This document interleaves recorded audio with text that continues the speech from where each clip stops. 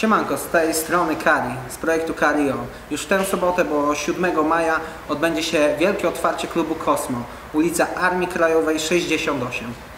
Będzie muzycznie, będzie, będą żywe brzmienia, więc będzie funkowo, jazzowo, rapowo. Gościnnie niezawodny mikser, więc na pewno będzie freestyle. Wjazd free, zaczynamy o godzinie 16 i tak naprawdę możemy powiedzieć, że gramy do oporu. Więc wbijajcie, bierzcie znajomych, widzimy się. Ja tak. Yy, Krzysiek to taki był. Pamiętam, on zasadniczy był i my mieliśmy ze sobą trochę na pięku. Nie było takich rozmów od razu. Nie było tak, że on przy, przyszedł. No po prostu tak zagajał trochę. Tu mikser, mikser. Ja mówię, co Krzysiek, Krzysiek. I tak było przez 3 lata, a potem on już miał swoich znajomych, swoją paczkę. No, ale Swoją paczkę. no. Swoją paczkę miał i.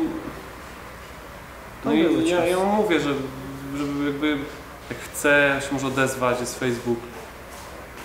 Widzi do klubu Kosmo. Pan deskę niesie. Na przykład.